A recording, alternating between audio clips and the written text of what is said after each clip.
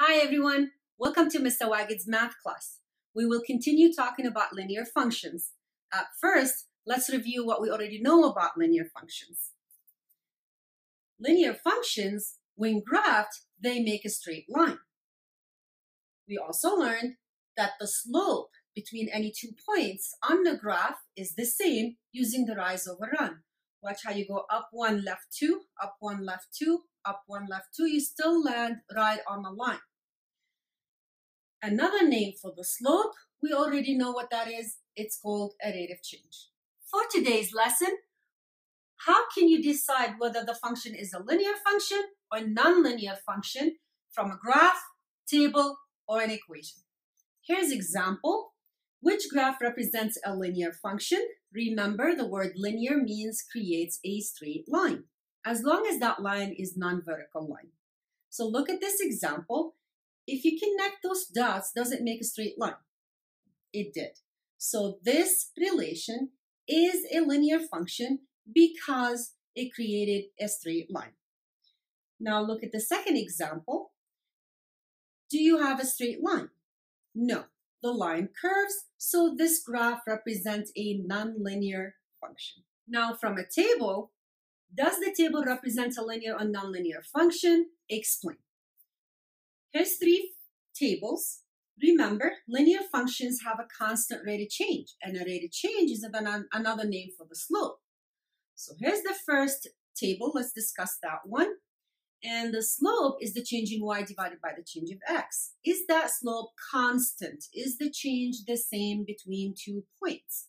So let's see the change in y is from 3 to 6 to 9 to 12. That is an increase by 3. And the change of x from 2 to 5 to 8 to 11, that's also an increase of 3. So the slope is the 3 over 3 there is a constant rate of change because it's the same between any two points. As y increase by 3, x also will increase by 3. So it is a linear function. Now let's discuss the second table. Same thing. We need to find out if it has a constant rate of change. That means, is the slope the same between two points? The change in y from 1 to 3 is adding 2, from 3 to 7 is adding 4, from 7 to 11 is adding. Now the change of x from 4 to 3 to 2 to 1 is subtracting 1. Now let's see if the slope between two points is the same. Does it have a constant rate of change? There isn't a constant rate of change, therefore it's a non-linear function. Here's the last example, also a table. To find out if it has a constant rate of change, that means to find out the slope and the slope is the change in y divided by the change of x. The change of y from 7 to 4 is subtracting 3.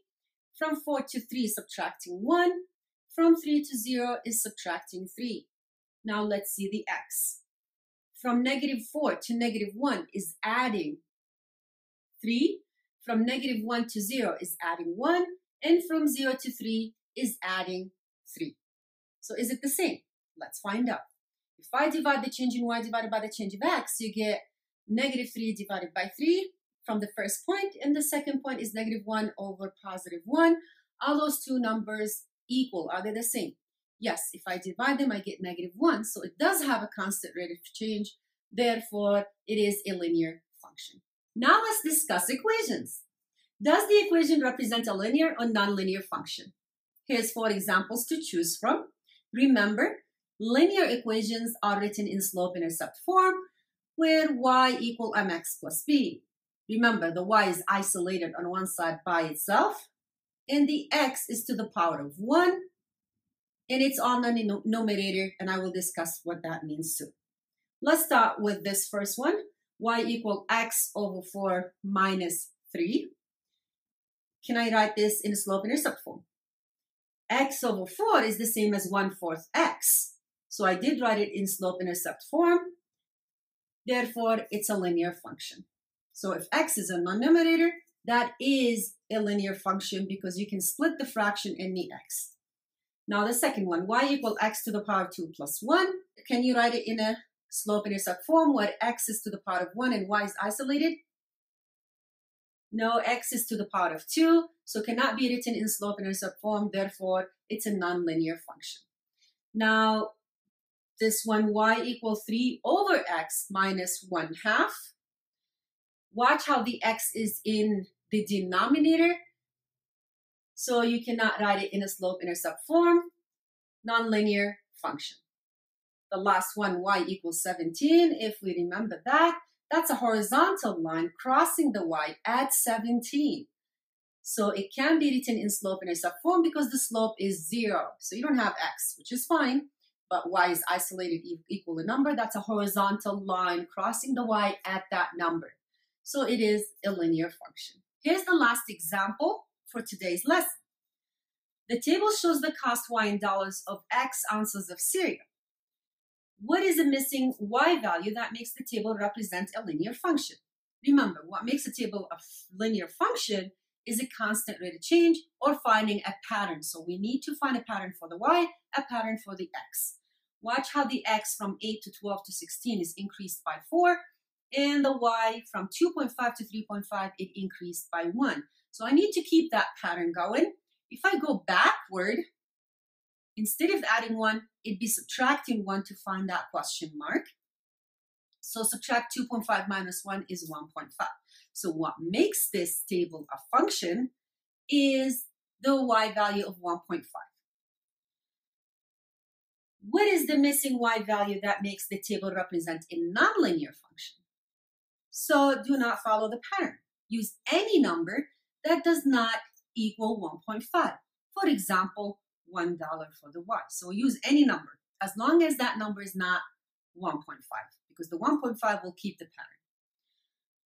Write a linear function that represents the cost y of x ounces of cereal. Interpret the slope.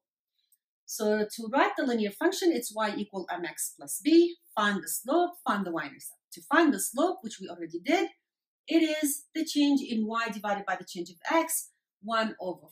So replace m with 1 fourth x plus b. Now I need to find b, which is the y-intercept.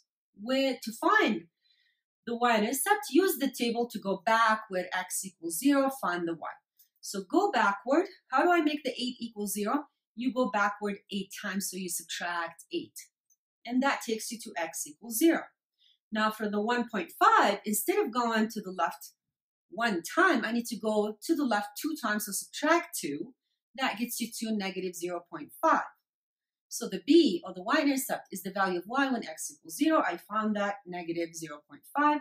So write this in the equation. y equal 0.25x minus 0.5. Interpret the slope means explaining the content of the problem, which means write the slope as a fraction, the change in y divided by the change of x, and the y is uh, the dollar amount of 0.25, which is a quarter, divided by 1, which is the x ounces. So to interpret, use the word per, every, or each. It costs you 25 cents per one ounce. In conclusion for today's lesson about linear functions, if it's graphed, they have to create a straight line. And if it's from a table, you have to have a constant rate of change or a pattern. And from equation, you will be able to write it in slope-intercept form for it to be a linear function. Otherwise, it's a non-linear function. That's it for today's lesson. Thank you for watching.